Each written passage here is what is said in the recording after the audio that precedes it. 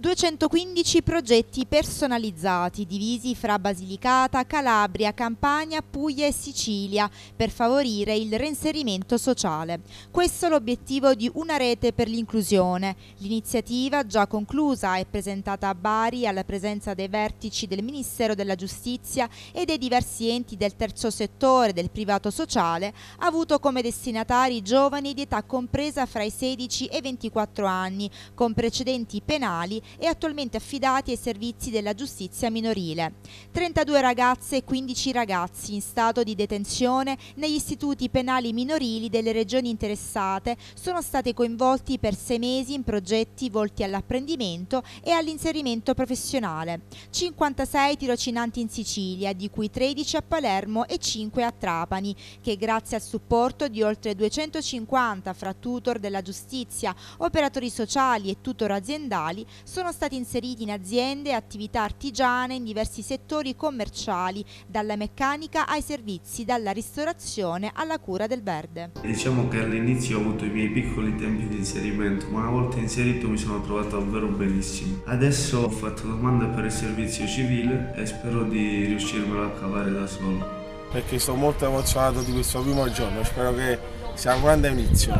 Il progetto Una rete per l'inclusione ci ha concesso insomma, di far coincidere una nostra esigenza con uno di questi percorsi, quindi è stato a beneficio sia della nostra cooperativa, sia dell'azienda, sia chiaramente del, del soggetto beneficiario. Beh, sta andando bene, sto imparando molte cose. E qual è il tuo ruolo all'interno del tirocinio? E sto aiutando come aiuto poco. Ti sei sentito accolto nel team di lavoro? Sì, sì, molto. Ti piace questo lavoro? Sì, sì. Cosa ti aspetti dal futuro? Prova a sognare eh, ad occhi aperti. Secondo me di trovare molte più strade in cui posso avere la certezza di trovare un lavoro. Noi te lo auguriamo, in bocca al lupo per tutto. Grazie Crepi.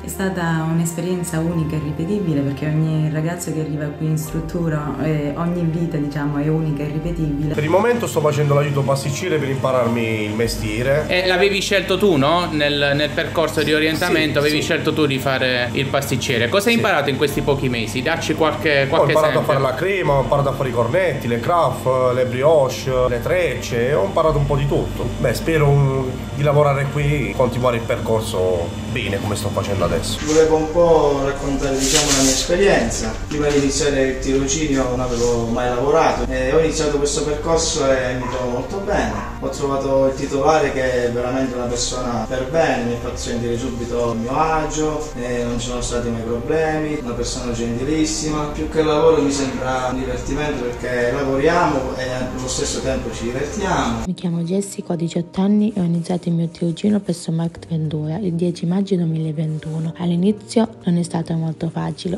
volevo solo fare i miei sei mesi e finirla lì. Poi piano piano ho capito cosa significa essere autonoma, grazie allo staff di Markt Ventura che anche se non mi conoscevano mi hanno aperto le braccia e mi hanno fatto entrare nella loro grande famiglia.